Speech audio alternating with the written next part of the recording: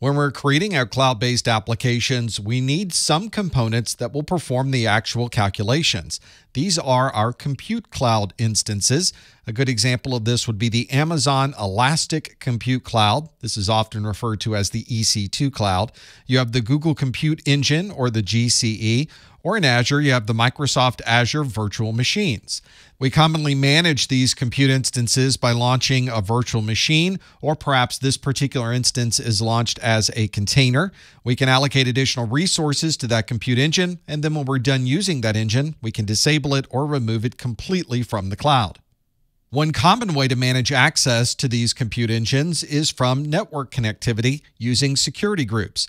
It would be common to have a firewall that you could use just outside of the compute engine, and then you can control what traffic is inbound and outbound from that instance. Since this is a firewall, we can commonly control access based on a TCP or UDP port number. This would be something working at OSI layer 4, or of course use OSI layer 3, which would be an IP address, either as an individual IP address, perhaps an entire block of addresses, and you can usually add this using CIDR block notation to the firewall. And of course, we can manage both IPv4 addressing and IPv6 addressing.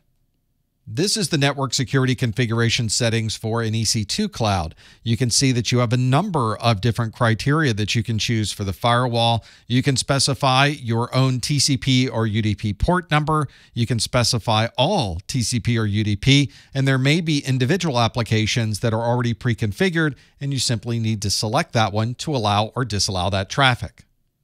These computing resources can be created on demand so that you would only have them active when they're needed, and then you can disable them or deprovision them once they are complete. This means as the demand to the application increases, you can provision additional resources automatically to be able to cover the additional load. You can even automate this process so that you are constantly monitoring the load of the application. And if the application needs more resources, they can automatically be provisioned. And when the load decreases and the number of people accessing that application slows down, you can deprovision those resources. We refer to this as rapid elasticity, and it's a very common way to maintain the uptime and availability of your cloud based applications. This would also allow you to minimize how much you're paying for this cloud based application because you commonly pay for these resources as you use them. That means when the application is busy, you can pay a little bit extra to have more resources available. And when the load on the application is decreasing, you can remove some of those resources so that you're not having to pay for them. It's common to combine this dynamic resource utilization with some type of monitoring system that can identify when the load increases and when the load decreases. For example, you may want to monitor CPU utilization, and when that utilization gets to a certain amount, you can increase additional resources to drop that load across multiple compute instances. Sometimes it's useful to have very granular security controls and be able to manage exactly what type of traffic may be flowing across your cloud configuration. This means you can identify what's in the data of the application flows and be able to make security decisions based on that. For example, your organization might be using Box.com for sharing files in the cloud. And if users are storing data in the corporate file share, you may have policies that would allow personal information to be stored into that share, and you may allow any department to put information into the corporate file share but there may be other shares that require additional security. For instance, there may be a personal file share. There may be policies that are already pre configured by your corporate headquarters that would allow you to store graphics files in your personal file share, but would deny any spreadsheets. It might also prevent you from storing any files that would have sensitive information, such as credit card numbers.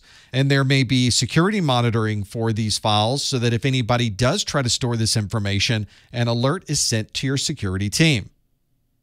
Applications developers can build cloud based systems that might be designed for internal use only. That means your internal employees would have applications that they're able to use, and the data that's being accessed by that application is private data that's not available to other people on the internet. It's very common to have this private application stored in the cloud and to have the private data stored into a file share that's in the cloud as well. To be able to allow access from both of those private locations so that the application can access the data and vice versa, you need a VPC, Virtual Private Cloud Gateway Endpoint. This would allow you to have private access between the application instance and the data and restrict access from anyone else. This also means that you don't have to have internet connectivity just to be able to access these applications. This means that we need to add another component between our application instance and the data that we're storing, and that additional component is a VPC endpoint. Connectivity between different components is made a bit easier when there happens to be an internet in the middle of the conversation. If this is a public application, then there would be a public subnet with virtual machines or other application instances, and there would be a gateway that would provide access to the internet. That would effectively allow the virtual machine to be able to communicate to the cloud storage because the cloud storage is also on the internet. This makes it very easy for your application to communicate to the data that it needs inside of a bucket that is on the cloud storage because you do have this internet connectivity in the middle. But if this application instance is on a private subnet and needs access to this data, we don't have an internet connection in the middle that would allow that. So we're going to add a VPC endpoint. This allows us to have connectivity between a private subnet and another part of the connection that's in the cloud, in this case, a storage network, so that our application can access that data even though there's no public internet connection in the middle.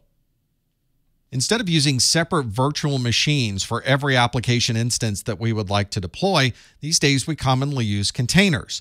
But just because we're removing a VM component from our applications doesn't mean that our application is necessarily more secure. Our containers have similar security concerns as any other application deployment method. There might be bugs in the application that would introduce vulnerabilities. You could have missing or insufficient security controls built into the application, which would allow others to have access to the data. Or there might be misconfigurations of the application, which could allow others access to the data that's not intended. If you are using containers on top of an existing operating system, it might be a good idea to use an OS that is specifically built for containerization. This might be a minimal or hardened operating system that is specifically designed to run containers on top of it. And we might want to group our containers together so that containers running like services are contained within a single host, and another host would contain a different type of service. That would allow us to focus our security posture on the specifics associated with that particular service that's running in those containers. And by not mixing different types of containers on the same host, we may be able to limit the scope of any type of intrusion.